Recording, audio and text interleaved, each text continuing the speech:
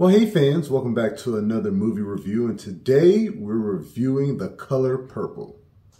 So obviously we are reviewing The Color Purple that was released in the year of our Lord 2023 and not the 1980s version directed by Steven Spielberg. Uh, this version actually has a black director, Blitz Bazawule, and it stars Fantasia Barrino, Colman Domingo, Corey Hawkins, Danielle Brooks, um, Chloe or Halle, I think it's Halle, um, and and many many other fantastic names. Taraji P Henson, like just so uh, many beautiful uh, black people in this film, and, and I have to say, it was a wonderful experience. The original Color Purple is one of my most favorite films of all times. I've seen it definitely over a hundred times since I was a young child. I could probably quote every uh, line in that film, and I was a bit hesitant when I found out they were going to remake it, and especially as a musical. So this version, while based off of the book like the original film, it is more in line with the Broadway play, which I believe Fantasia Barrino also starred in.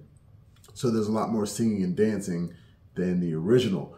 And I did not think that that was a good idea starting out. I had never seen the Broadway play, so I didn't know how you can make the story in that essence, so to speak. But boy, I have to tell you, this movie is fantastic. It is a cinema shifting musical masterpiece, and just the way Bazawule put this whole thing together, it, it, brought a tear to my eye by the end. The performances were great. Fantasia Barrino, uh, of course, winner of American Idol, great singer, just belts belts her heart out in all of the songs and all the roles. She's a terrific actress in this in this role of Celie, you know, and I was very happy she took on that role from Whoopi Goldberg, who actually makes a cameo appearance in this film as a midwife delivering one of uh, Celie's children. I really enjoyed that.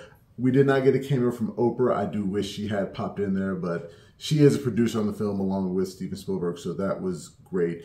Uh, Danielle Brooks does fill the role that Oprah played, and she does it phenomenally. You know, she's a, a bigger woman, and it's pretty much it's pretty much that exact same character, except she she does seem. I'm not gonna say a little more tough. She seems just as tough, and and I really did enjoy her take on the role. Colman Domingo as Mister was a fantastic casting. He is, you know, a little more charming than um, and I can't remember the actor's name right now. Uh, he's a little more charming than Danny Glover was in the role. Danny Glover is more like stern and serious. Uh, Colman Domingo has those same like aspects. He's like abusive, but you know, he's like you can understand why somebody would kind of fall for him. He, he's not as it's kind of creepy, but not as creepy. And like I said, all the casting in this, Harpo, uh, Corey Hawkins is Harpo. It, it, was great, and I, I feel like this movie has more redeeming qualities than the original. The original Color Purple was like a dark, brutal like dreadful film highlighted by moments of joy. Whereas this movie, it's like the exact same story, but it seems like it's more moments of joy highlighted by moments of dark and dreadful instances. And I, I, I like the way they, they told the story, and I'm just going to keep continuing saying that I really did enjoy this film, and I do like the aspects of they go further with Celie and her sister's story in this film. You get to find out more about her life after she, you know, leaves Mister and her sister comes back from Africa with the kids. You get to see more of that life, at least from what I remember. I haven't seen the original film in a long time, so I'm not sure. I remember that movie basically ending with her sister coming back and her meeting her kids. This one goes a little bit further. There's that reconciliation between her and Mister that I think was great. You know, a lot of the characters in this film look like they learn their lessons. They grow up in this cycle of abuse and, you know, hatred. And by the end, I feel like everybody's like a better person, a stronger person, a more loving, joyful person. They've gone through all of these horrible, like a phoenix rising from the ashes. That is kind of like the lesson I take from this film. Like, life throws some shit at you. It throws some bad stuff at you. But, you know, if you can make it through to the other side, you will be okay. And I think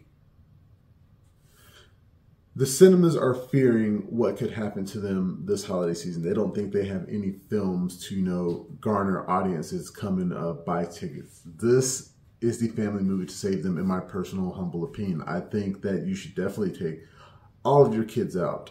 Uh, PG 13 and higher. Maybe you can take some 10 year olds if they have an adult to see this movie because there are some, like, it's still the color purple. There's still, like, some very harsh subject matter in this film. But I do think it can be enjoyed by the entire family and it's just a beautiful beautiful story. The music the dancing is great the songs i don't really like musicals i don't really like songs i thought this was going to be just a song and a song and a song. No it's a story and the song is a part of the story and it all works.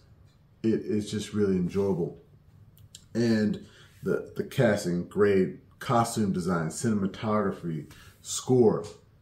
Everything about this film worked anything that I thought I wasn't gonna like about it, I pretty much forgot about it by the end. So in terms of score, I'm giving this movie a perfect 10 out of 10. A perfect 10 out of 10 uh, for me. So yes, please check it out as soon as you can.